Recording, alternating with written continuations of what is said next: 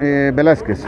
Y actualmente represento al transporte aquí en la ciudad de Quetzaltenango y a nivel del departamento en todas sus modalidades.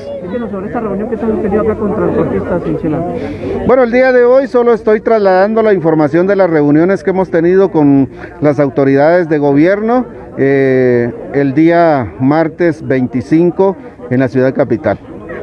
En donde pues en esa reunión, después de varios, bastante tiempo de diálogo, el gobierno nos propuso el poder eh, excluir de este acuerdo gubernativo a taxis y tuk-tuks, pero no solo somos nosotros, sino la verdad es que no estamos defendiendo únicamente nuestros intereses eh, personales o, de un denominado transporte, sino que estamos defendiendo también eh, al pueblo de Guatemala, porque dentro de este acuerdo gubernativo están incluidos los pick-ups, están incluidos los camioncitos de carga menor a 3.5 toneladas, quienes son los que trasladan todo lo que son verduras, los productos agrícolas, fertilizantes, trasladan las mercaderías a los mercados y ellos también van a pagar este seguro. A la hora de pagar el seguro, automáticamente está llegando o cargándose a la canasta básica todos los productos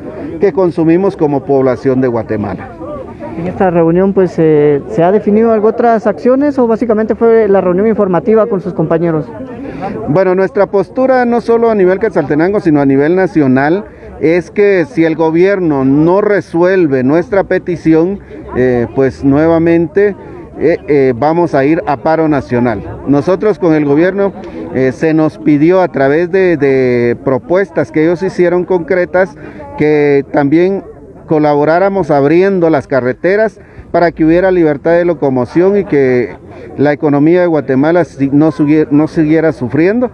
Nosotros lo hicimos, eh, inmediatamente al llegar a ciertos acuerdos se liberaron las carreteras, puesto de que como se había pronunciado anteriormente, la manifestación iba a ser por tiempo indefinido. Más sin embargo, nosotros en muestra de buena voluntad y querer que las cosas se solucionen sin tener que afectar a toda la población, abrimos las carreteras.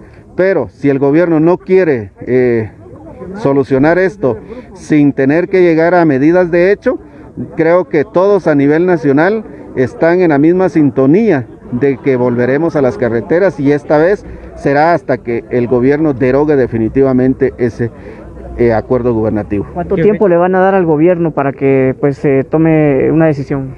Ellos se nos pidieron 24 horas para resolver. Ya llevamos más y aún no estamos eh, llegando a medidas de hecho pero calculamos que en una semana, si el gobierno no responde, vamos a tener que tomar nuevamente las carreteras. ¿Están pidiendo completamente la derogación entonces? No, ya hicimos eh, ciertas, eh, ya hicimos una propuesta